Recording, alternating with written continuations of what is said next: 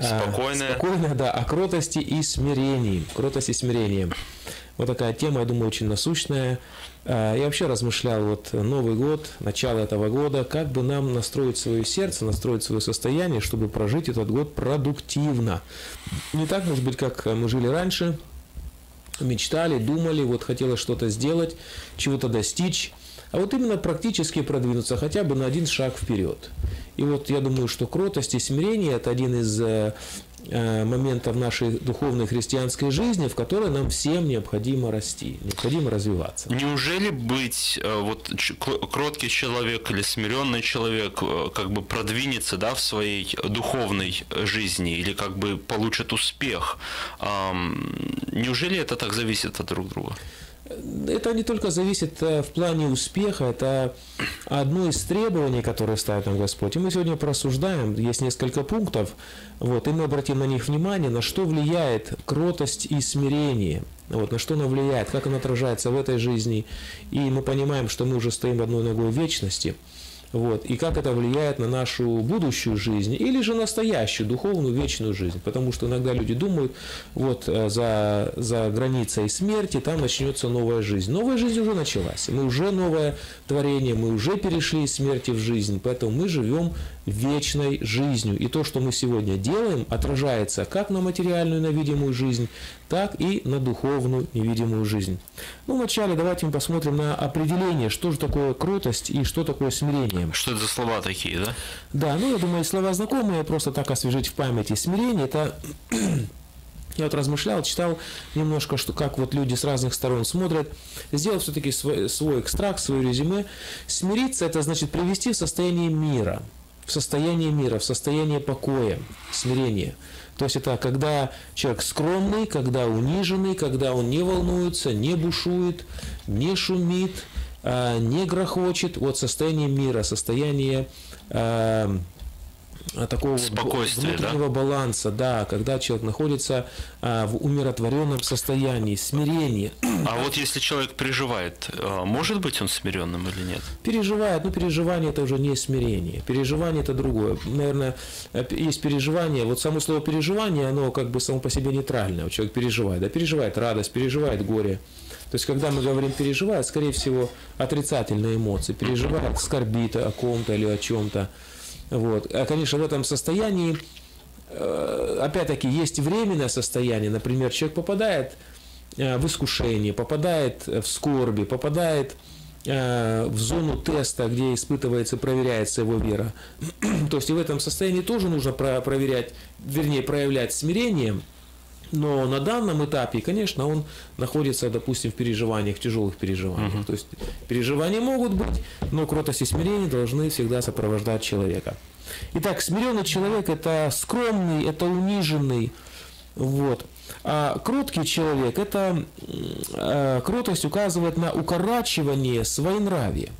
У каждого из нас есть воля, и есть свои требования, есть свои какие-то претензии, вот, есть взгляды есть ну, где-то там больше, в большей или меньшей степени капризы.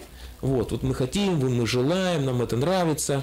И вот человек а, кроткий, это человек укороченный. Или а, вот укращают, допустим, строптивых, укращают и смиряют зверей диких. Вот в зоопарках там, да, или на, в цирках – вот, э, тигров, там еще каких-то таких, э, медведей, да, дикие животные, их смиряют до такой степени, что они вот слушаются вот человека, он там стоит с кнутом или там с палочкой, и лев там выполняет какие-то сложные трюки, то есть смиренный, укращенный.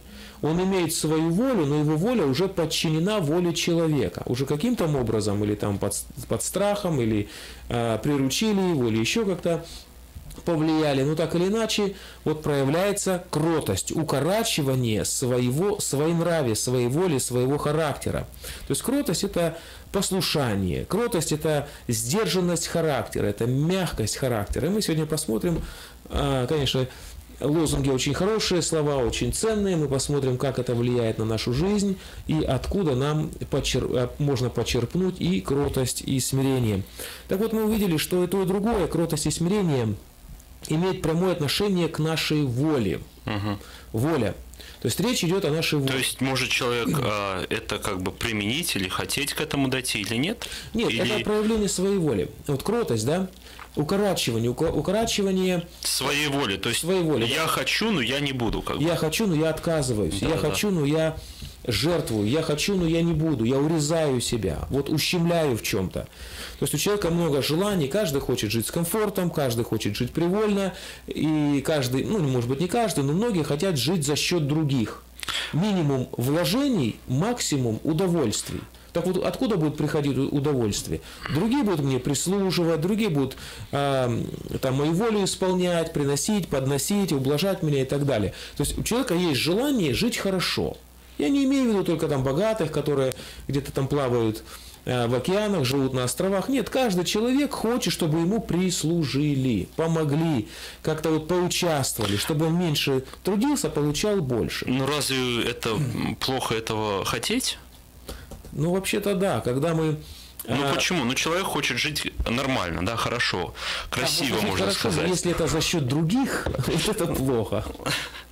Ну Вот. понятно. А, на, на, на этих условиях было построено, был построен или держался рабовладельческий строй, когда привезли рабов, вот, ну что там раба, покормили, спать дали и все. Он целый день работает, целый день там исполняет прихоти господина. Господину хорошо, а рабу не очень.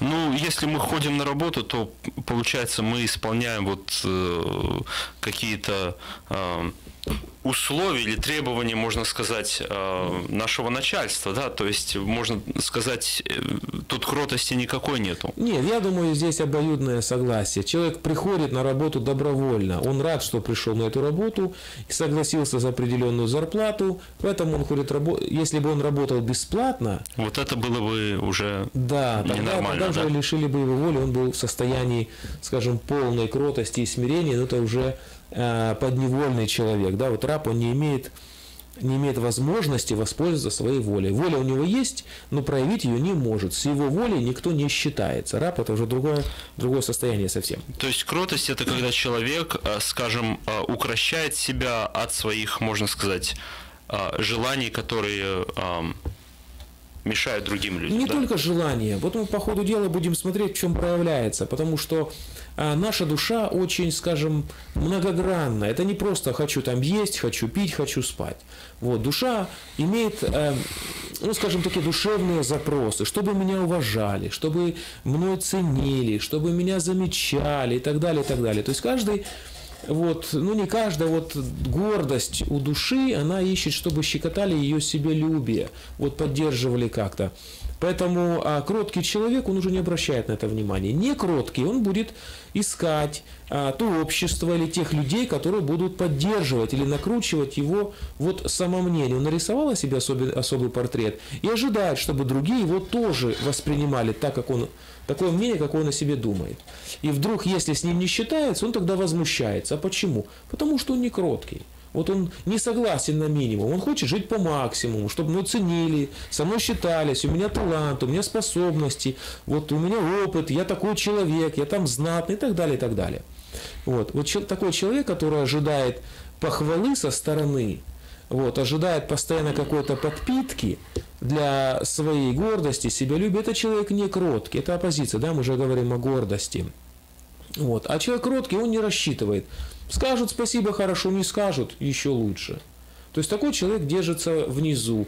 Если он на, на низкой ступени, его уже низко не опустишь. То есть Он это, себя опустил. это не нужно ему, чтобы а, достигать каких-то целей, да, то есть чтобы идти вперед, чтобы а, Нет, он может идти вперед, просто он не ожидает. просто он не ожидает благодарности Да, за да. это, или как бы чтобы он не его- за спасибо работает. Да-да-да. То есть а, человек понимает, Ну, давайте посмотрим, в чем выражалась кротость а, у Иисуса Христа. Он является для нас примером. Послание к филиппийцам, 2 глава, 6 стих и ниже. «Он, будучи образом Божьим, не почитал хищением быть равным Богу». Сложный вообще-то перевод, по-разному его трактуют. Ну, а другими словами, если упростить, можно сказать так, что Христос обнищал ради нас. Несмотря на то, что Он был Богом, вот, будучи образом Божьим, Он все-таки сошел на уровень человека. И уничижил себя самого, приняв образ раба, сделавшись подобным человеком и по виду став как человек. Вот здесь говорится о рабе, или о состо... арабском состоянии, э, Христос э, занял такую позицию, где он практически не считался своей волей. Он говорит, не моя воля, но твоя да будет. Христос пришел и неоднократно говорил, я исполняю волю Отца. То есть он считался с волей Отца. Абсолютно. На первом месте всегда. Всегда, да. Но это не, то, это не говорит, что его воля шла в разрез. Вот ты, отец, хочешь так, а я хочу по-другому. Ну, раз уже ты настаиваешь, или я понимаю, что так правильно, я уже не буду считаться со своей волей, я буду соглашаться с твоей. Нет, мы понимаем, отец и сын были одно. Сын не мог желать другого. Он не мог. Он желал то же, что желал отец. Он говорит, я отец одно. Если только сын желает другого, значит он идет против. Это бунт. Вообще-то серьезная, это, это катастрофа. Вот. Но сын никогда не, не идет против отца. Несмотря на то, что он подчинил свою волю, он знает, он говорит, не я, несмотря на то, что сын понимал, как правильно жить и что правильно делать, говорит, не так, как я хочу, но так, как ты. То есть это не значит, что сын хотел чего-то другого. Сын всегда хотел, как отец. Говорит, видевший меня, видел отца. То есть он всегда проявлял его волю. То есть мы не можем... Есть такое место, которое люди трактуют, будто бы Христос во время страданий испугался, вот, и решил вообще-то остановить а, план вечности, и говорит, ну, я уже хотел бы как бы остановить, но уже пусть не моя воля, но твоя. Вот этот оборот, не моя воля, но твоя, не говорит о том, что сын желал чего-то противоположного. Вот, он шел против, хотел чего-то другого. Говорят, люди испугался. Ну как он мог испугаться, когда он уже был заклан прежде создания мира? Испугался, или там больно ему стало, вообще-то он был, а, по сути дела, Бог, только в теле человеческом. Угу. Да, вот. Поэтому здесь нужно не, не ущемлять атрибуты Бога. И он был безгрешный, и он был и так далее, и так далее. То есть это был Бог в человеческом теле. Ну, это не был человек, что там испугался, сатана пришел, он там, как, как человек перепугался. Такого не было. Конечно, страдания переносил физические, ужасался, но не от страха, а из-за того, что грехи взял и так далее. Это была э, вот такая сфера очень темная, очень ему непривычная. Ну и люди всегда дискуссируют. Я думаю, а с начала христианства люди дискуссируют и пытаются разобрать этот вопрос. А, кем же был Христос больше, человеком или Богом? Вот всегда как бы есть такая ну, линия которые то, или, или он больше Бог был, или больше он человек был? Я думаю, что нам не нужно заострять на этом внимание. Мы не можем, у нас нет такой линейки или такого инструмента, чтобы взвесить и определить, больше Бог или больше человек. Вот. Туда придем на небесах, там Господь нам откроет то, чего мы еще и не знаем, потому что мы не можем охватить полностью Бога, и мы даже себя очень мало знаем. Ну а да. отвечать за Христа, кем он был больше Богом и человеком, то, что касательно человеческой линии или природы, он ее полностью взял на себя. Угу. То есть у него было абсолютно такое же тело, как и у нас. Э, и там идет родословно до линии Адама. То есть он как человек был потомок Адама, но внутри он был Богом. То есть была человеческая природа, и в то же самое время это был Бог в теле человека. Ну, а нас интересует вот какой момент. Восьмой стих этой главы, а, послание к филиппийцам, вторая глава. «Смирил себя, быв послушным даже до смерти и смерти крестной». Вот, пожалуйста, смирение. Иногда в человеческом понимании смирение как-то стоит на уровне... Самоунижения? Самоунижения, вот такой забитости, угу. какой-то незначимости, какого-то отстранения от общества, вот, уединение. Вот. А э, если посмотреть на жизнь Христа, вот мы видим, он постоянно был в обществе, постоянно его окружали люди, где-то э, говорил очень смело, ну, всегда говорил смело, да, фарисеям говорил, горе вам, ученикам говорил, останавливал, наставлял, учил. Но в, в то же самое время Христос смирил себя, то есть он подчинил полностью себя под волю Божию. Другими словами, он был как бы под управлением отца. Отец ему говорил, отец ему показывал, сын соглашался и выполнял. Поэтому он смело говорит, видевший меня, видел отца. Так вот, смирение в чем выразилось? В послушании. Вот это необходимо как бы нам на, на этом поставить а, огромный акцент, что смирение – это послушание, или смирение ведет к послушанию. Смирил себя, то есть перестал считаться со своей волей. Почему мы сегодня это разбираем? Потому что Христос является примером смирения. Примером смирения. Дальше будем э, читать, как это... Э... То есть, так как он смирил себя перед волей Отца, да, да, мы должны смирить себя перед волей Христа, то бишь перед Словом. Да, воля Божья есть, Слово Божье есть, и смирение заключается в том, что мы подчиняем себя, подчиняем свою волю. То есть, это не просто занижение себя или Нет, какое-то затаптывание себя и своих желаний, а это э, выражается в послушании э, к Слову. Есть... Э, есть человек смиряется перед... Смотрите, смирение – это подчинение своей воле, это послушание. Это, uh-huh. это человек кого-то слушается, он чему-то подчиняется. Он может подчиняться религии. Есть люди э, очень смиренные перед религией.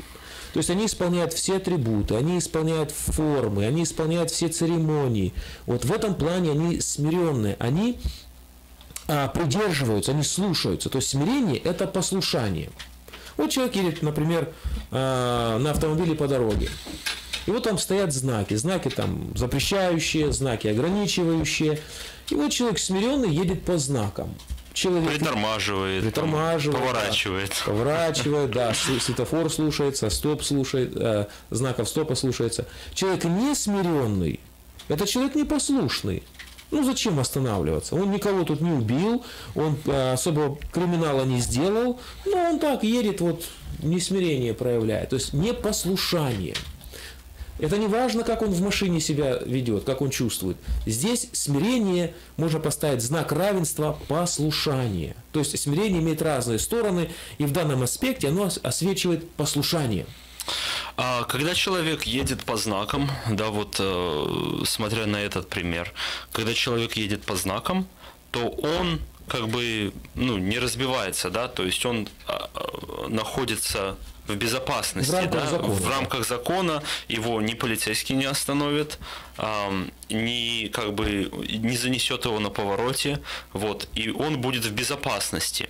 Ну, если так все э, нормально идет. А как насчет христианской жизни, да? А вот э, какие бенефиты, пользы или какую выгоду приносят вот это послушание или смирение? Еще хочется отметить, э, прежде чем я отвечу на этот вопрос, хочется заметить такую сторону, что если мы уже взяли движение по дороге и знаки, что послушание или смирение будет выражаться только тогда, когда человек едет по дороге. Если машина стоит в гараже, никакого смирения не проявится. То есть человек подойдет, погладит машину. Ой, я тебя даже заводить не буду. Я даже тобой пользоваться не буду. Это не смирение. Смирение будет проявляться только в движении по дороге. То есть, когда речь идет о христианине, то смирение его проявляется тогда, когда он слушается Слова Божьего. Когда Слово Божье, вот как знаки, управляет его жизнью. Здесь не делай, а здесь делай. Тут остановись, а тут э, иди. Здесь нужно промолчать, а здесь нужно смело сказать. То есть, если человек ничего не делает, в принципе, он и смирение не может проявить. Это не смирение. Нет, смирение, смирение это активная форма проявления. Это активная форма. Смирение это не просто человек сидит и бездействует. Нет, смирение это когда он знает волю, и подчиняется этой воле. Мы знаем, Христос не сидел на месте. Угу. Иногда люди думают, если он занима, э, сядет там на последней лавочке э, в храме или в собрании, то в этом выражается его смирение. Христос на последней лавочке не сидел. Он заходил в храм, он становился там, э, открывал Тору или там открывал закон, пророчество, читал. Но опять же, этого от него хотел Отец. Этого хотел Отец, да. Вот, ученики тоже были в смирении, когда Христос их посылал. Идите, проповедуйте, изгоняйте, исцеляйте, воскрешайте. Они не могли сказать, о, Христос, знаешь, ну как это исцелять? Это серьезное дело. Давай мы лучше займемся, просто говорить будем, что есть Царство Небесное, а вот не будем заниматься ни исцелением, ни изгнанием, ни воскрешением.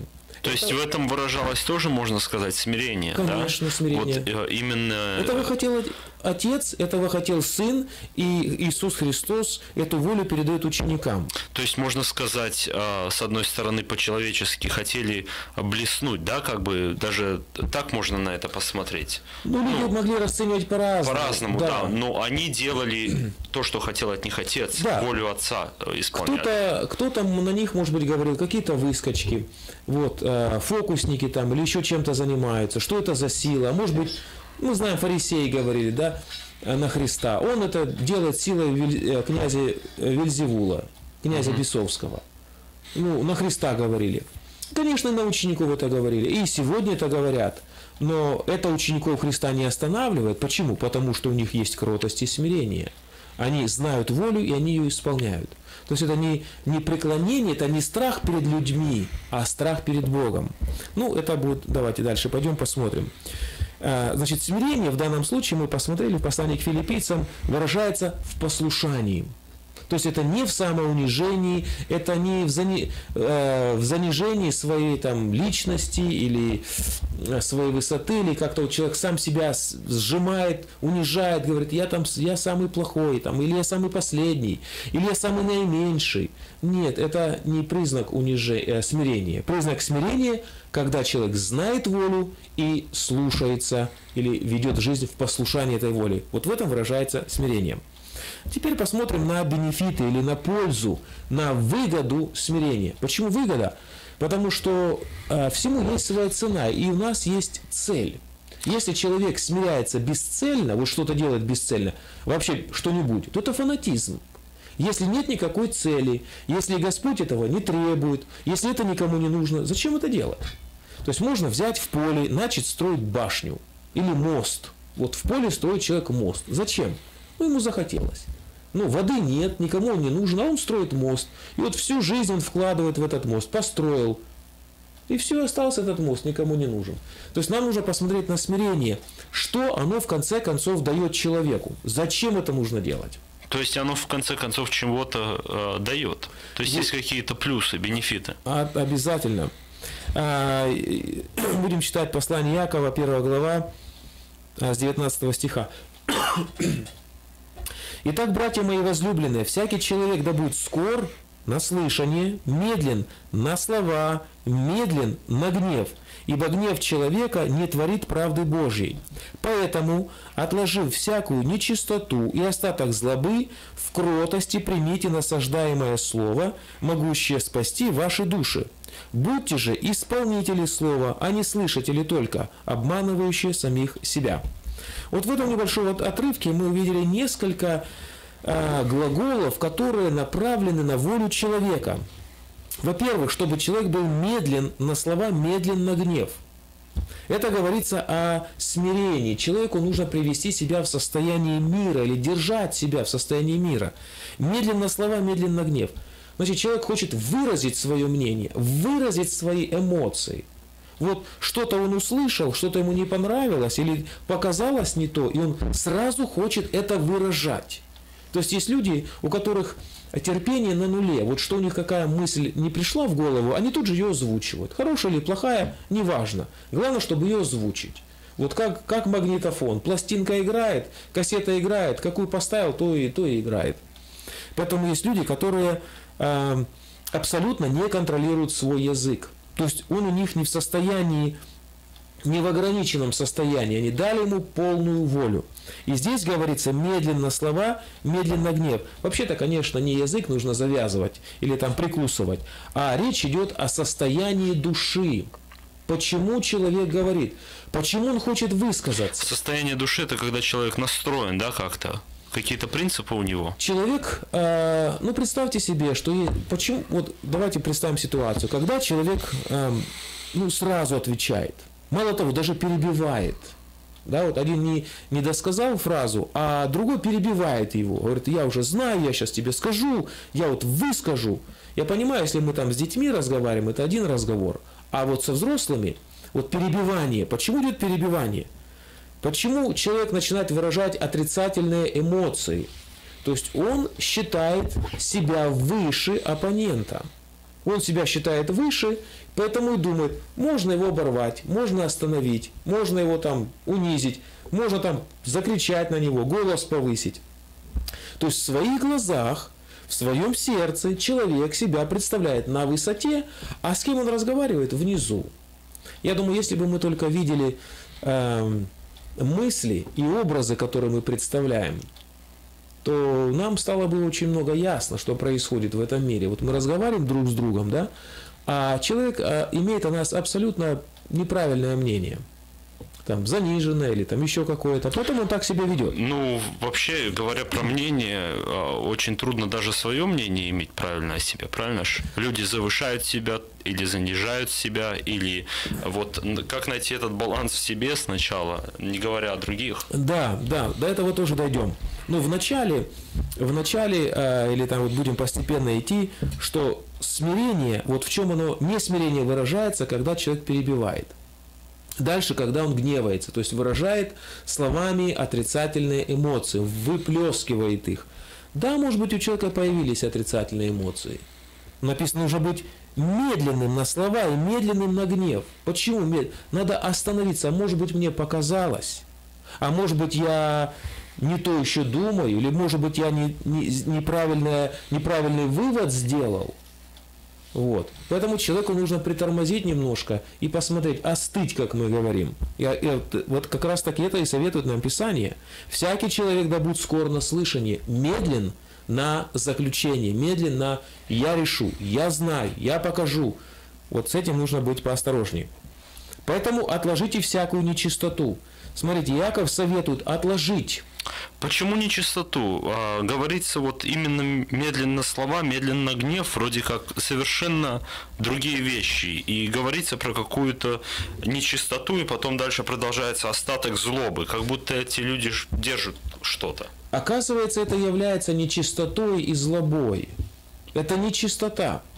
А, когда человек, не просто слова, медленно слова, не просто а вот слова произносить медленно, не об ну, этом ну, понятно, речь. Да. да. Это человек, когда он загорелся или зажегся, или вот э, его, можно сказать, вывели, да, как говорится, из этого спокойного состояния. Вот, вот он начинается... Смиренного человека трудно вывести. Но если даже мы понимаем, что это у нас, у нас не статическое состояние, а зависит от обстановки, но тем не менее мы должны понимать, что есть норма для верующего человека. Это состояние смирения, это состояние, когда не штормит, когда волны так, что можно отражение увидеть. То есть практически их нет.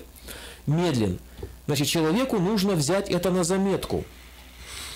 Это раз э, смирение – это часть нашей воли. Значит, человек сам себе должен когда-то сказать, что я это отложу. Вот я буду, я возьму себе за правило, смотрите, человек должен взять это за правило, не торопиться отвечать, не торопиться делать выводы, не торопиться выливать отрицательные эмоции. Может быть, они и возникли. Здесь написано отложить. Не говорится именно вот э, не чувствуйте, да, вот да именно да. Вот, вот так вот себя внутри. Если это и возникло, человек имеет возможность отложить имеет возможность. Поэтому Яков и говорит, отложите, не высказывайте, не, говори, не показывайте, что это у вас есть. Да, возникло что-то внутри, надо отложить. Господь усмотрит. Вам стало неприятно? Да. Иногда люди говорят, а я же чувствую. Вот что чувствую, то и буду говорить. Я буду, эм, ну как бы, я буду правду говорить. Ну как же правда, если это злоба, значит надо ее отложить, а не говорить. Если это зло, если это нечистота, если человек хочет высказать слова с целью унизить другого, то это нехорошая правда. Ее нужно отложить, ее не нужно никому показывать. Но ну, а если этот человек, э, как говорится в русском языке, бочку на тебя катит, вот как тогда? Да хоть контейнер. Вот, конечно, все может быть. Все может быть. Э, и Иаков не отрицает, что возникают отрицательные эмоции. Он не отрицает, говорит, да, это может быть вас могут зацепить, оскорбить и так далее. То есть это все будет, это все, э, это неизбежно. Мы среди, живем среди людей, которые имеют недостатки, и мы сами по себе имеем недостатки. Поэтому здесь вот э, нужно сохранять баланс. Если возникло, как правило, я думаю, почему у людей это случается? Вот хотя бы один человек, или который вот перебивает, он э, останавливал самого себя мыслью, а может мне подождать? Потому что, как правило, такие люди считают себя, а я прав. А я прав. Я должен сказать, я же прав. У него даже мысли не может быть, что он может смотреть не в ту сторону. Он может делать не тот вывод, что его мнение может быть очень ограничено. Что все мы мыслим субъективно. Объективно только Бог мыслит. И если мы прибегаем к слову, вот это мы имеем объективное мнение. А в остальном у нас субъективное. Это так, как я чувствую, так, как я понимаю, на основе моего опыта, знания, э, интеллекта и так далее, и так далее. Это все очень ограничено. Поэтому э, э, Иаков советует нам быть медленными на словами, медленными на гнев. Вот в этом и выражается кротость. Дальше он говорит, когда мы отложим это, то есть укоротим себя, укоротим, то есть хочется сказать, а мы это откладываем, а мы не будем. Во имя Господа не будем. Господь этого не хочет, и я этого делать не буду. Это не то, что это не возникло совсем. Нет, отрицательное чувство есть, но ради Христа я их откладываю. А вот завтра ему скажу, не сегодня, а завтра. Ну, а до завтра у меня есть время порассуждать, вообще это стоит делать или нет. Ну хорошо, а если это стоит сделать, если нужно человеку сказать, если нужно вот э, поставить его, можно сказать, на место немножко. Вот человек... Э, Может быть и нужно, но это не следует делать на горячую голову. Когда угу. мы успокоимся, взвесим, остынем, и Господь даст нам правильные мысли, тогда мы скажем. А сразу в пылу, а тут только, знаешь, еще масло в огонь подольем. Оно еще больше получится, человек не услышит, перепалка будет, скандал будет. Поэтому отложить до завтра. Порассуждаем, помолимся, поразмышляем. Господь даст мысли, надо, скажем, не надо, промолчим. В кротости примите насаждаемое слово, могущее спасти ваши души. Вот. Человек, э, данный текст говорит о том, что человек слышит словом, и, как правило, у верующих возникают вот проблемы или там разговоры на почве Писания. Я понимаю так, ты понимаешь так, они понимают по-другому. Кто же все-таки прав? Вот здесь говорится о Слове Божьем, которое необходимо принимать в кротости. Чувства, эмоции, опыт, а, мое мнение, вот э, если я не отложу, то ничего не получится. Ну как можно отложить чувства, эмоции, мнение, опыт? Это практически все, что у человека есть. Ну а... хорошо, допустим, я тороплюсь куда-то, мне нужно ехать, да, а, в аэропорт. И вот я еду на машине, тороплюсь, красный свет. Я тороплюсь. Вот у меня действительно проблема, мне нужно, никому не нужно в аэропорт, а мне нужно, вот красный свет. Ехать на красный свет или остановиться? Вот как быть? Если я пролечу на красный свет, может, до аэропорта не доеду. А вот мне сильно нужно. Понимаешь, у нас мнение есть, и мы считаем, что это самое правильное мнение. И мы на, и мы на красный свет, мы не уважая, мы топчем других, мы идем, неважно, что я знаю, мое мнение последнее, я докажу, я расскажу, я, вы должны меня послушаться. То есть вот какая ситуация может быть. То есть смирение надо иметь, да? Смирение, да. При всем при том, что мы торопимся в аэропорт, и, сам, и наш э, билет, э, самолет улетает, и, может быть, билет улетает вместе с ним. Может быть, я не успею в аэропорт, но, по крайней мере, я живой назад вернусь. А если я буду пренебрегать всеми знаками препинания, ни стоп, ни светофор, ни скорость, ли... сколько таких людей не доезжают до, до аэропорта. В кротости примите Э, насаждаемое слово, могущее спасти ваши души. Значит, э, в данном случае кротость человека приводит к спасению души. То есть все это проявление плоти. То есть кротость перед словом, да, кротость примите, э, в кротости примите насаждаемое слово. Да, когда говорится. человек торопится сказать, когда человек хочет проявить свое мнение, выразить свое мнение с гневом, это все а, проделки плоти. Поэтому Иаков и пишет, не чистота, а остаток злобы. А кому обращается? К братьям, возлюбленные братья. То есть человек прощенный, человек искупленный, имеет жизнь вечную, возрожденный, все, казалось бы, а, на месте. Человек упакованный, в Царство Небесное может попасть. Но он еще не укоротил себя, он еще дает позволяет своей душе, э, позволяет вот плоти пользоваться его душой. Позволяет, поэтому нужно укорачивать себя, не торопиться. Имеешь мнение, не согласен, надо открыть Писание посмотреть, а может быть я с Богом не согласен.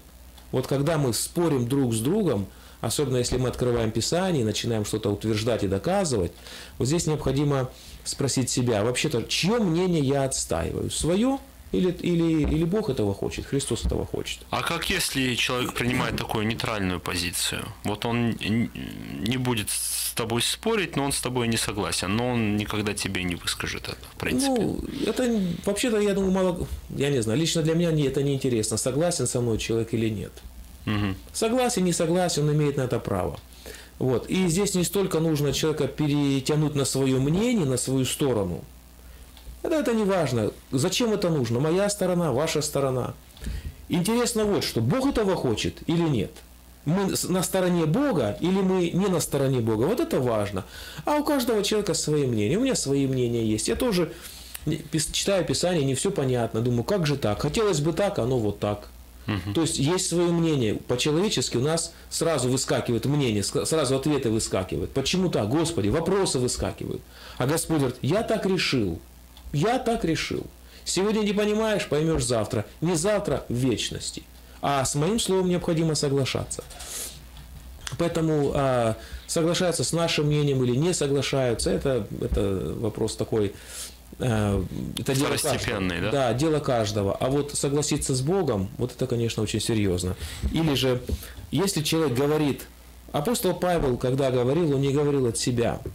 А Петр не говорил от себя, Яков, вот мы читаем Слово Божие, вроде бы говорили люди, но говорили не от себя. Вот здесь нужно проверять, говорит человек или он говорит слова Божие. Если, если слова Божие, нужно соглашаться. А если он выражает свое мнение или мнение другого человека, ну, здесь можно и не согласиться.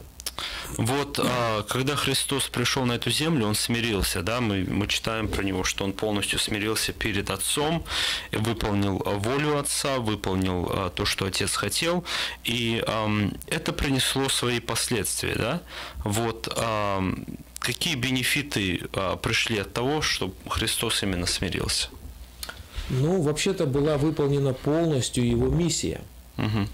Представь себе, запускает космонавтов в космос – им говорят, вам нужно там полететь, настроить то и другое, третье, и у них там целый план. Они прилетели туда и выходят в космос и там радуются, знаешь, какие звезды красивые, какая земля красивая, поболтались э, в, этом э, в безвоздушном пространстве и назад зашли, и работу не сделали.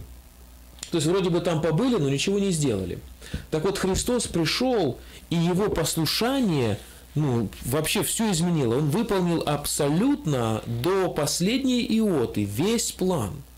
План был вписан, мы знаем, в э, Ветхом Завете был план записан, э, в духовных сферах был э, глобальный план, мировой план, очень большой план, который касается этой земли, касается вечности. Этот план был выполнен по одной простой причине. Христос был полностью послушен. Он говорит, я выполняю заповеди Отца, я нахожусь в Его любви, все в порядке, мы друг друга понимаем, у нас согласие. Вот. Говорит, и вы, как ученики, тоже должны также жить. Хорошо, двигаемся дальше. Значит, ответ на твой вопрос, что это принесло нам, это принесло нам очень много. Был выполнен план и спасения, и освобождения, и, и наследства, и сатана потерпел поражение, и люди получили выход, освобождение. То есть очень-очень много что произошло э, в связи с тем, что Христос подчинился под волю Отца.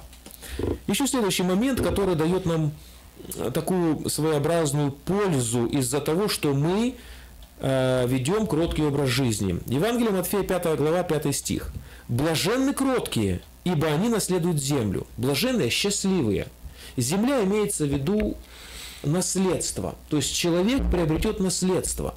Мы знаем, что эта земля в конце концов сгорит. Вот, она исчезнет, она растворится, ее больше, она потеряет свое существование. Когда мы читаем Откровение, то там как раз таки об этом и говорится. Значит, земля, о которой здесь идет речь, эта земля будет другая. И вот человек будет наследовать какой-то участок земли. Потому что жизнь будет, наша жизнь здесь э, короткая, временная, пройдет тысячелетнее царство, будет брак Агнца, а дальше будет новое что-то. Начнется новая жизнь, начнется новая эпоха. И вот там, в новой жизни, мы будем получать соответствующие награды. Спасение мы получаем все. Разбойник на кресте тоже получил спасение. Но наследство у него будет минимальное. Так вот, нам а, Господь говорит, что те люди, которые ведут кроткий образ жизни – они получат землю. Я не знаю, там строить мы будем или сажать, что мы будем делать на этой земле, но если Господь это дает нам в наследство, значит это очень ценно. И те люди, которые сегодня читают это э, послание, Евангелие, Иоанна, э, Евангелие от Матфея, это послание для нас. То есть Господь говорит, это месседж для нас, это слово для нас. Он говорит, смотрите, что вас ожидает в будущем. Если вы а, кроткие, то вы счастливые. Блаженные – это высшая степень счастья, блаженства. Вы наследуете землю. У вас будет земля. И вот на этом стоит точка. Что мы будем с этой землей сделать, еще пока неизвестно. Но если Господь сказал, что это входит в высшую степень счастья, то наследство, оказывается, имеет свою цену, ценность. И те люди, которые э, ведут кроткий образ жизни, они входят в наследство, они получат участок земли. Первое послание Петра, 1 глава, 3 стих. Благословен Бог и Отец Господа нашего Иисуса Христа, по великой своей милости, возродивший нас воскресением Иисуса Христа из мертвых к упованию живому, к наследству нетленному, чистому, неувядаемому, хранящемуся на небесах для вас – Опять говорится про какое-то наследство, да? Да, наследство. Чистое, то есть святое, неувядаемое, оно не ветшает, оно не пропадает. Это не то, что земля здесь сегодня стоит 100 тысяч, завтра 200, послезавтра бесплатно, никому не нужна.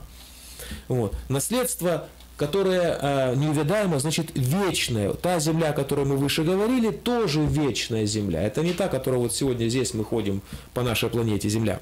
Вот она имеет, э, имеет свою свое время, в конце концов, она закончится, закончит свое существование.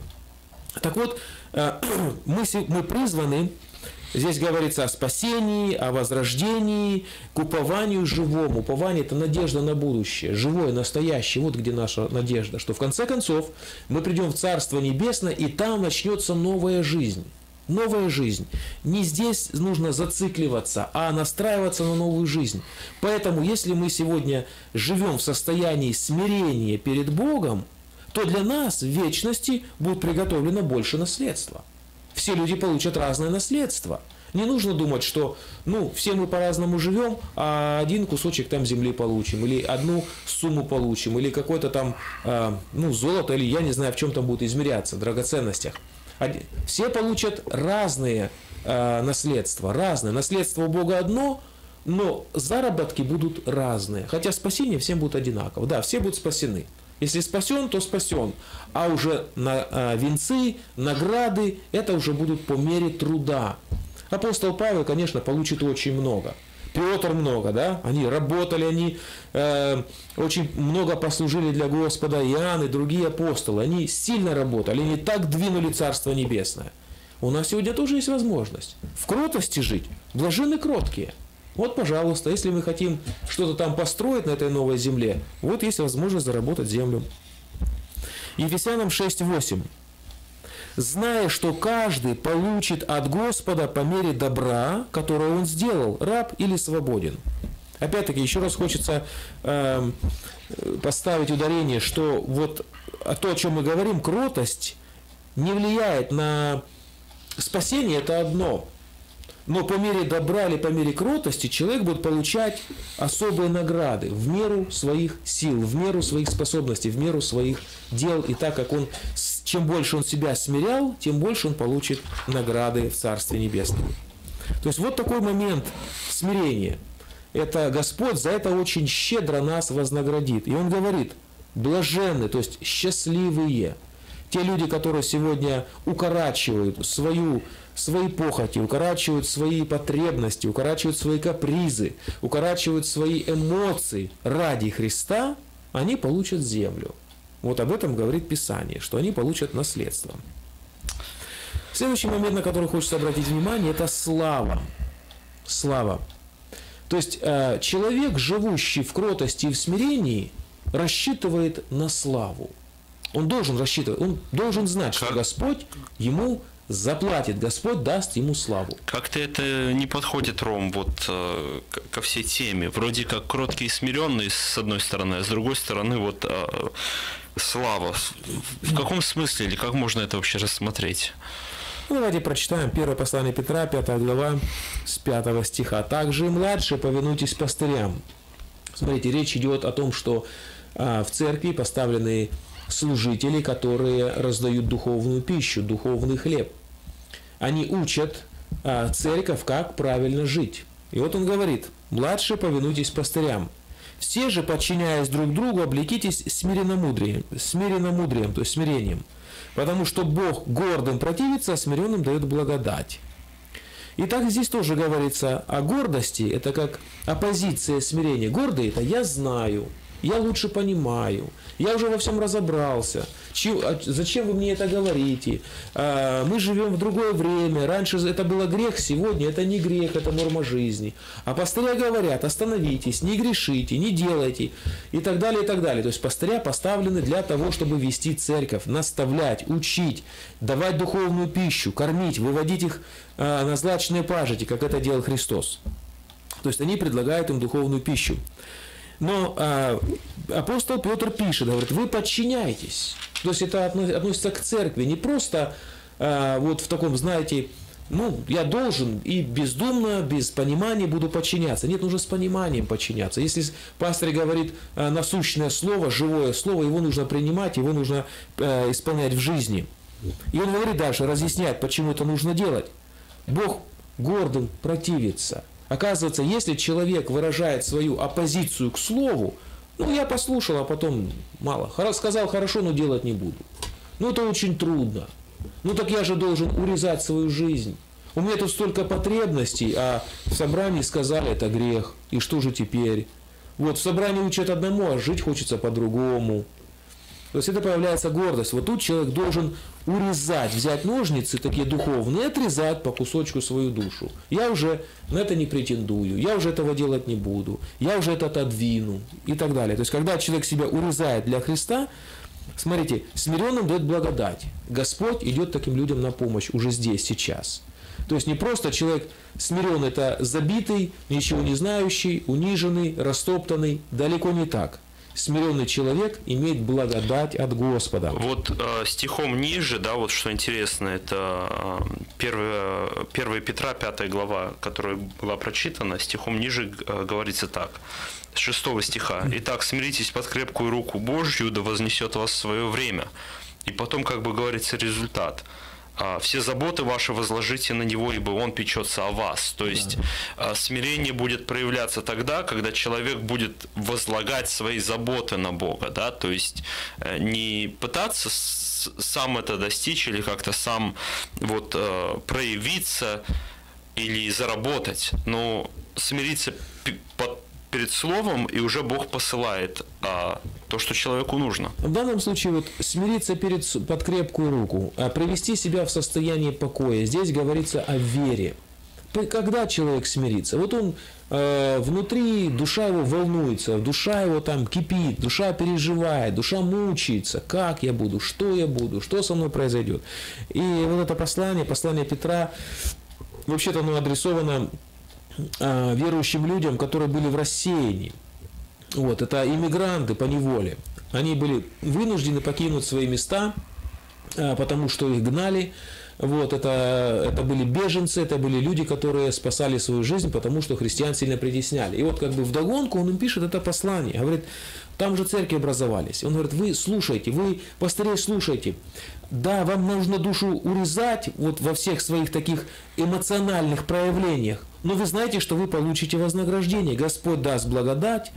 Смиритесь под крепкую руку Божью. То есть, как смириться под руку Божью? Как смириться? Каким образом? Слово. Вот то, есть слушайте слово, и которое Господь, Господь говорит. Да. То есть подчинение, подчинение слову. А, смирение выражается, как мы уже выше сказали, в послушании. Христос был послушен. Смирение выражается в послушании. Хотя жизнь сейчас, казалось бы, ну такая вот, знаете, нестабильная, нас гонят, нас притесняют, мы на новом месте, новый язык, новая культура, где-то нужно работать, где-то дети перестраиваются на, на новые рельсы. Это что-то похоже вот сейчас мы в Америке живем, да, ну тут мы добровольно приехали. Вот. А тогда люди были, а, они просто спасались, они убегали. Были очень сильные притеснения. Вот. Поэтому апостол Петр говорит, доверяйте Богу, слушайтесь Бога, смиряйтесь под крепкую руку Божию, потому что это Бог с вами. Бог с вами. Да, вы несете сейчас наказание, да, а, вы несете какие-то видимые потери, потому что вас выгнали с насиженных мест. Вы дома оставили, вы бизнеса оставили, вы, убеж... вы э, покинули все. Чемодан взяли и пошли, на ослика сели и уехали там за 3-9 земель. Угу. Вот. Ну вот смиритесь, то есть доверяйтесь Богу, прислушивайтесь, что вам говорит Бог, читайте Слово, а, пребывайте в нем, и таким образом, говорит, Бог вас вознесет в свое время.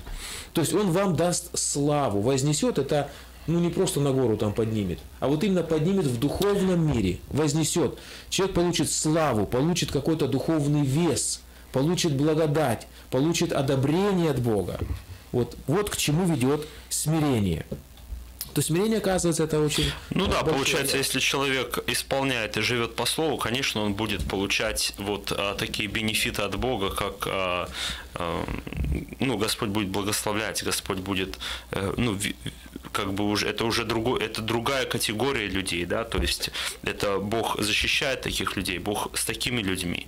То есть, Несмотря на то, что вот на тот момент верующие переживали видимые, видимый дискомфорт и видимые э, проблемы, действительно это были проблемы, да, они, они убежали, они, они перемещались с места на место, это не так было просто, как сейчас – вот, это было сопряжено с, э, с различными там, ситуациями, это, были, это было проблематично. Вот. Даже сегодня человек переезжает из города в город, нужно перестраиваться, тем более было тогда. И апостол Петр говорит, смиритесь под крепкую руку Божию. Если Бог так усмотрел, доверяйте Ему, доверяйте, вознесет вас. И вот следующий момент, я думаю, очень такой серьезный, к чему ведет смирение. Вот тут, я думаю, будет касаться каждого из нас. И это будет напрямую касаться нашей повседневной жизни. Мы уже посмотрели, что смирение, оно спасает душу, да, от плоской жизни, когда человек доверяет Господу, когда он откладывает медленно слова, медленно на гнев. Мы рассмотрели тот момент, когда кротость и смирение дает человеку наследство, он будет наследовать землю. Мы порассуждали немножко о том, как э, кротость и смирение ведет к славе. Господь вознесет, Господь прославит. Может быть, человек здесь не получит какую-то славу, а в вечности обязательно, однозначно. И сейчас мы поговорим о том, что э, кротость и смирение дает человеку покой, стабильность, дает человеку внутреннюю, внутреннее удовлетворение и насыщенность. Вот когда человек внутри сыт, он доволен, он полноценен. То есть он, он не будет не кроткий, да, если он, если человеку что-то постоянно не хватает, вот тогда вот человек будет Э, можно сказать, не кроткий, да, то есть он будет э, плакать, будет говорить, что мне всегда плохо, он не дотягивает, вот здесь, вот здесь, вот здесь, да, то есть это будет выявляться. Но если человек имеет мир и покой, то вот тогда можно укоротиться. Да, мы посмотрим, да? что ведет вот к миру и покою. Э, Евангелие Матфея, 11 глава, очень известное место, с 28 стиха. «Придите ко мне все труждающиеся и обремененные, я успокою вас». Вот смотрите, интересный момент, да, Христос говорит, труждающиеся и обремененные. То есть, опять-таки, хочется немножко э, эм, остановиться на этом месте. Господь приглашает не тех, которые уже сыты и довольны. Он приглашает тех, которые устали в этом мире, в этой жизни. То есть он говорит, помните, Христос ходил а, можно сказать, а, в низах общества был. Там были пьяницы, там были нашим, нашими словами, наркоманы, там были э, блудники, там были мытари, там были грешники. Вот, это был просто сброд такой. Христос туда приходил и вытаскивал оттуда людей. Он спасал их из этой э, тины, он вытаскивал из тьмы, вытаскивал из болота. И говорит, придите ко мне, труждающиеся обремененные, те, которые устали в этой жизни, те, которые пришли в тупик, те, которые находятся в безвыходности. Вот к таким обращается Христос. Те, которые сыты и довольны, говорят, а мне Господь не нужен. Я, я же никого не убил, я не украл, я живу очень моральной жизнью, ну, так, приблизительно. Согласно моего закона и кодекса, я живу моральной жизнью. Вот, поэтому мне все хорошо. Вот Господь не заставляет таких людей. Говорит, да, ну, если ты так решил, так живи. Вообще-то покаяться надо, потому что жизнь неправильная. Но, говорит, придите ко мне труждающиеся и обремененные. Вот интересно, те, кто ищет Господа, говорят, придите ко мне, я вас успокою. Вот это первое, первый шаг, первое знакомство с Господом. Господь спасает, прощает, успокаивает, дает мир и покой. То есть человек, а, которому надоело, да, можно сказать, вот такая жизнь. Вот ему а, он идет и написано, придите ко мне все труждающиеся и обремененные, то есть человек чем-то обременен, чем-то, что-то его тянет вниз. А, вот, вот такой человек может получить э, покой. Который, да, не находит удовольствия в жизни, которому все надоело, эм, ну вот такая крайняя как бы э, Человек недоволен своей жизнью, недоволен обстоятельствами, недоволен тем, что он ощущает, переживает, совесть мучает, какая-то пустота, бесцельность. Господь говорит, придите ко мне, я вас успокою. Это первый шаг, это человек зашел. Читаем 29 стих и ниже. «Возьмите иго мое на себя и научитесь от меня». Значит, не просто получить покой. Смотрите, человек приходит, неверующий человек приходит и кается. Это первый шаг, покаялся. Тут же Христос говорит, возьмите иго мое на себя и научитесь от меня. Иго это, ну, нашим языком это, возьмите правила, мои правила жизни. Вот правила, которые будут вами руководить, управлять. Чтобы остаться в этом покое, да? Да, да, чтобы... Чтобы не просто прийти, получить на 5 минут и потом а, опять быть таким труждающимся и обремененным. А чтобы это продолжалось, он говорит, возьмите иго, то есть мои правила, и научитесь, как ими пользоваться. Например, человек в лесу заблудился, там где-то на автомобиле заехал, и вот он застрял и уже потерял, где север, где юг. Говорит, мне нужно поехать туда-то и туда-то. Говорит, ты знаешь, ты вообще-то не туда едешь. Его остановили, это раз. Второе, ему дали карту. Или дали компас, или дали GPS. Но ему показали, как можно добраться. То есть не просто остановили, сказали, ты не туда едешь. Ему указали дорогу, по которой куда надо ехать. Куда нужно ехать. Так вот, Господь останавливает человека, успокаивает, и дальше говорит, возьмите иго мое на себя, возьмите мои правила жизни, мои заповеди, мое слово, мой закон. Вот что он предлагает. Ибо я кроток и смирен сердцем, Смотрите, он говорит, я послушный, и найдете покой душам вашим. То есть вначале человек, смотрите, 28 стих, я успокою вас, получает человек покой от того, что приходит, раскаивается, Господи, прости, я жил неправильно, получает покой. Это первый покой. Второй покой, или более совершенный покой или состояние, сохраняет состояние покоя тогда, когда человек берет новый закон, новую заповедь, учение Иисуса Христа, говорит, возьмите и научитесь. То есть не просто возьмите Евангелие и читайте. Этого недостаточно. Читать недостаточно. Нужно научиться. Нужно узнать, что же это Писание говорит, что же имел в виду Христос, а, что же я должен делать, как же мне усвоить вот это учение, чтобы воспроизвести в жизни. Не просто читать. Взять-то я могу взять, а вот научиться – это второй момент – Ибо иго мое благо, и бремя, бремя мое легко. Вот я хотел спросить насчет 30 стиха. Ибо иго мое благо, и бремя мое легко. А, если человек а, не переживает, что бремя легко или а, вот бремя легко или э, иго благо, да, вот почему, если он не переживает, если это ему трудно делать, да, то есть человек с одной стороны как бы хочет подойти к познанию, подойти к Богу, но с другой стороны его что-то или держит, или это ему трудно делать, да, вот как эм, он не бежит к этому, а тянет это. Как тогда быть? Я думаю, здесь, э, если мы соблюдаем последовательность, то будет и благо, и будет легко. Смотрите, ведь Христос сказал, возьмите иго, раз, и научитесь, два. Человек берет иго, он говорит, я согласен с учением Христа. Я согласен, нужно любить. Вот написано, да? Угу. Или нужно прощать, или нужно терпеть, или нужно еще что-то. Говорит, хорошо, я раньше не терпел, теперь я даю слово, я буду терпеть. Ну, написано так, терпите. Буду терпеть. Когда кончается терпение, буду включать долготерпение. Долготерпение, да. Любовь там, и там идет так хороший, знаете, букет. Как, в чем выражается любовь? Человек прочитал, Бог этого хочет. То есть я... он не против, чтобы это Он проявилось? не против, да. Говорит, я это беру. Я это беру в свою жизнь. Все, вот эту любовь всю беру. Завтра от этой любви места нет. Ничего не остается, одно воспоминание. Вот как же так? Я же взял, оно не получилось. Взял и начинаю человека терпеть, и начинаю его любить. А у меня не получается, а мне тяжело. Этого Господь не требует. Он не требует закона. Он не требует буквоедства. Он не требует исполнения буквы. Почему для человека трудно? Потому что он не научился. Он не понял в суть этого слова. Смотрите, любой а, спорт, а, любая профессия, а, любое какое-то дело, музыкальное или, еще что-то, требует каких-то знаете, таких фундаментальных, базовых принципов. Вот, например, чтобы играть на инструменте, человек должен выучить ноты. А он скажет, я хочу играть, я возьму, и как я смогу, так и буду играть. Ну, как ты сможешь, это уже не получится. В оркестре это не годится. Сам себя там можешь э, радовать. А на публику это будет просто раздражение. Угу. Так вот и Слово Божье. Человек говорит, взял Слово, прочитал и пошел, говорит, я буду делать.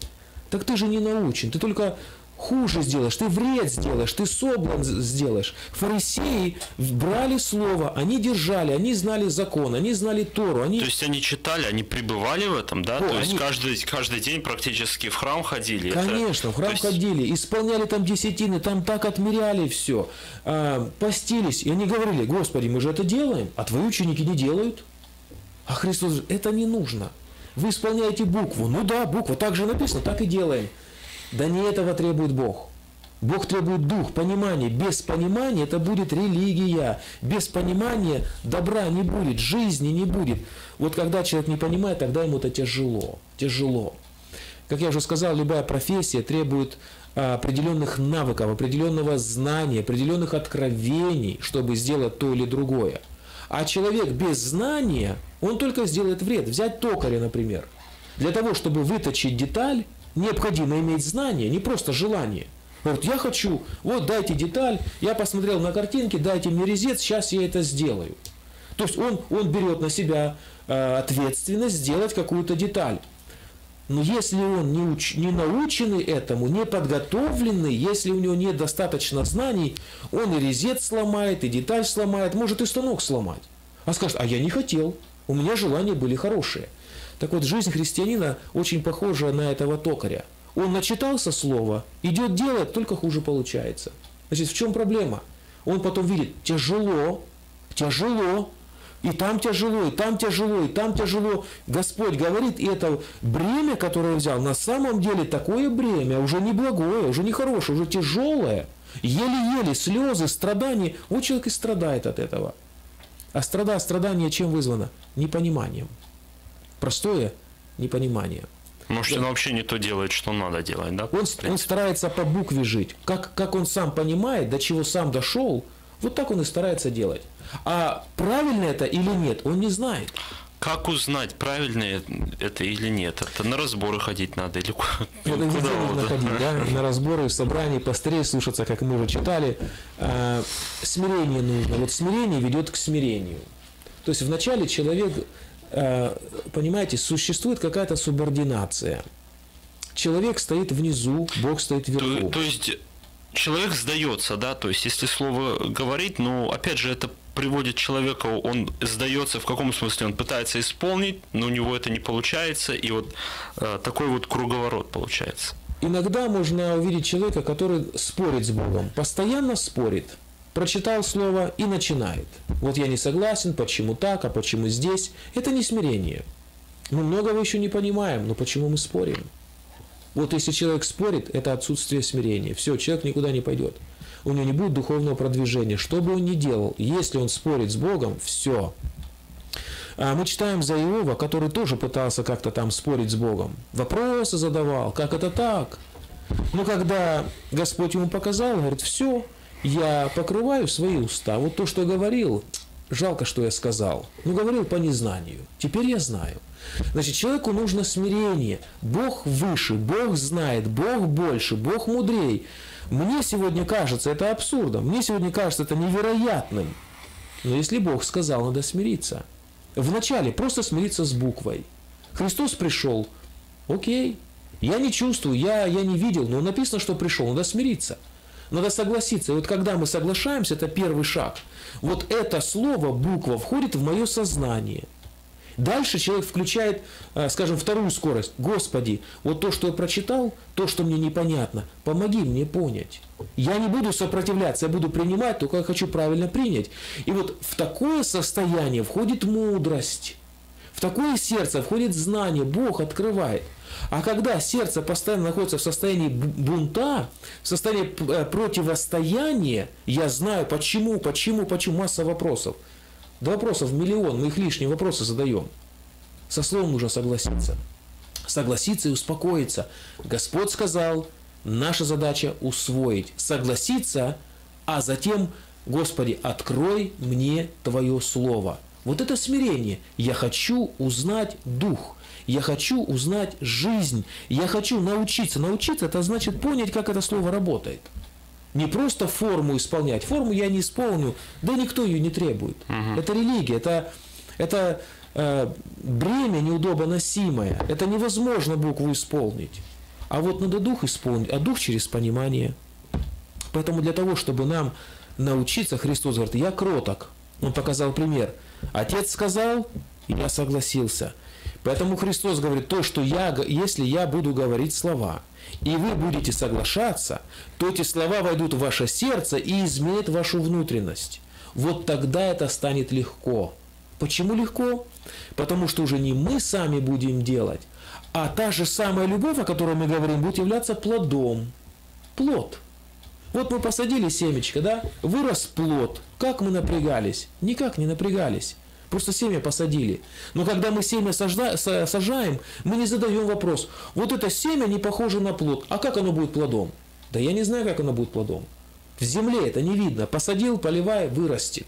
Вырос листочек. Как что это плод? Нет, это еще не плод. Продолжай поливать.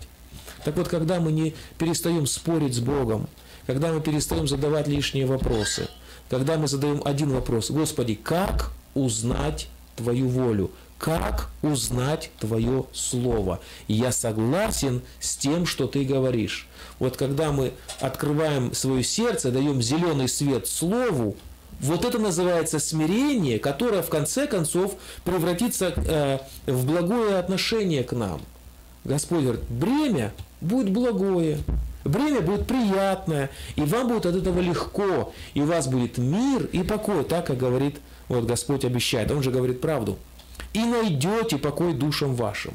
Вот когда находит человек покой. Когда он просит прощения, это один покой.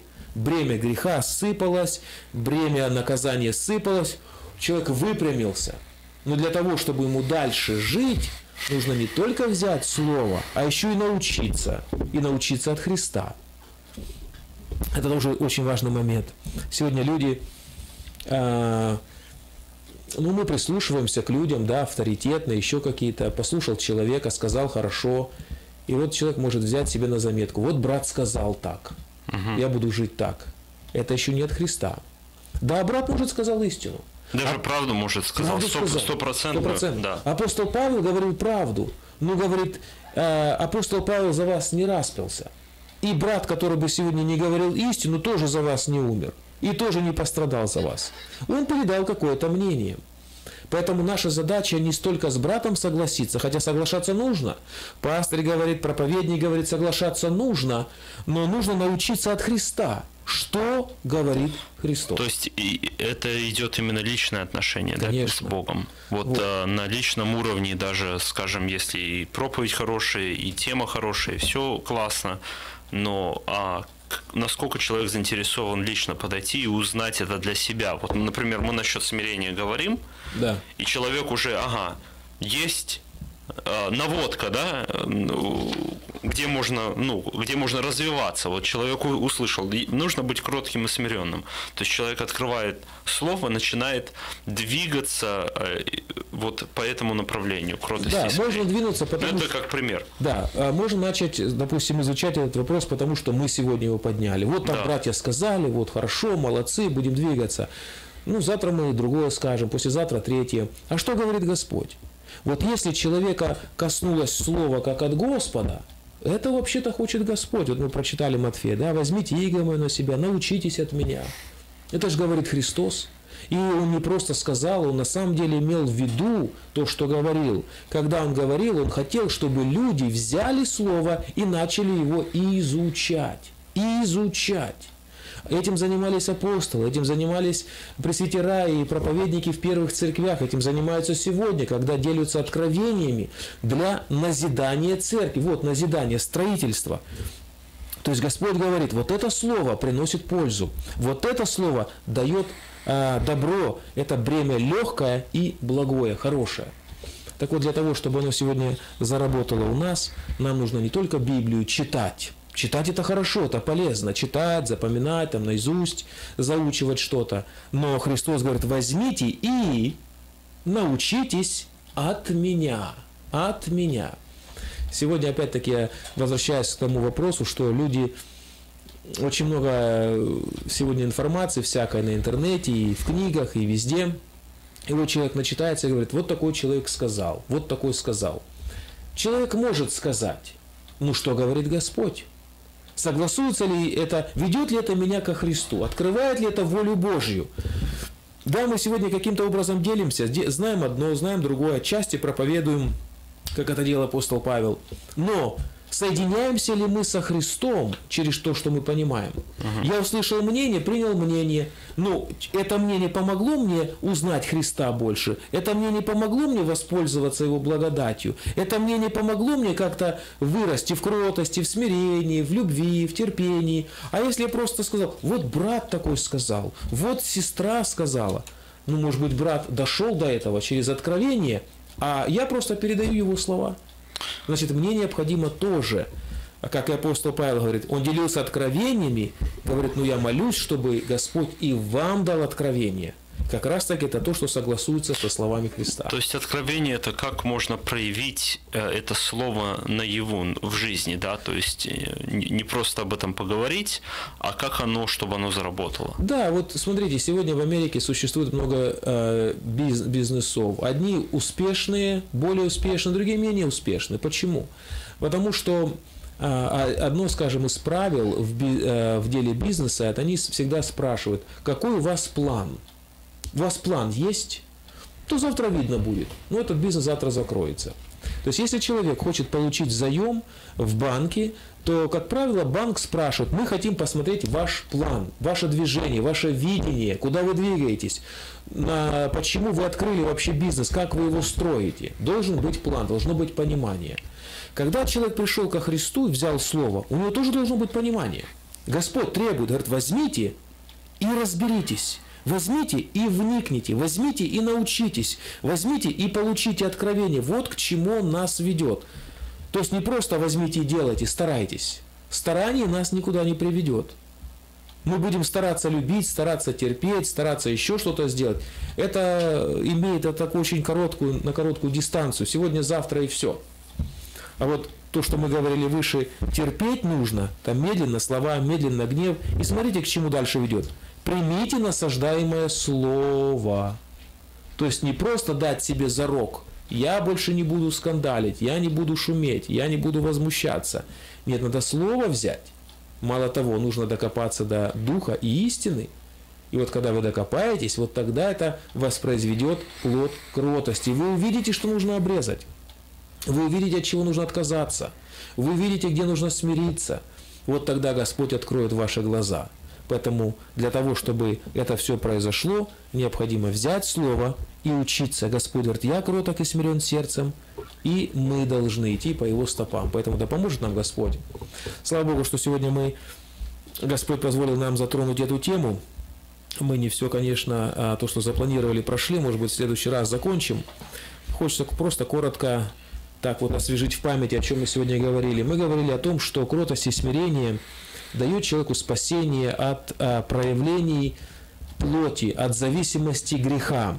Вот, дает для спасения души. То есть это не то спасение для вечности, а вот человек покаялся, да, а он еще младенец. То есть у него плоть проявляется. И вот для того, чтобы плоть не проявлялась, необходимо в кротости принимать слово. Мы сегодня говорили о наследстве, что кротость и смирение в конце концов будет вознаграждена наследством. Человек получит землю, получит нетленное наследство. Каждый получит от Господа по мере добра, которое он сделал. Также мы говорили о том, что кротость ведет к славе. Господь даст определенную славу каждому, кто ведет кроткий образ жизни. И мы сегодня немножко затронули о том, что кротость и смирение ведет к покою. Каким образом? Человек берет слово и учится у него. Вот без этих двух элементов не получится ощутить благо и добро от Слова Божьего. Поэтому да поможет вам Господь. а, вырастать в этом, продвигаться в этом и в наступающем новом году, чтобы Господь благословил наше хождение вот по слову, по, по Его учению. И тогда вы ощутите благость, ощутите добро, ощутите благодать от Господа. Наша передача подошла к концу, для вас ее подготовили и провели Роман Пальников и Василий Савченко. До следующей встречи. С Богом. С Богом.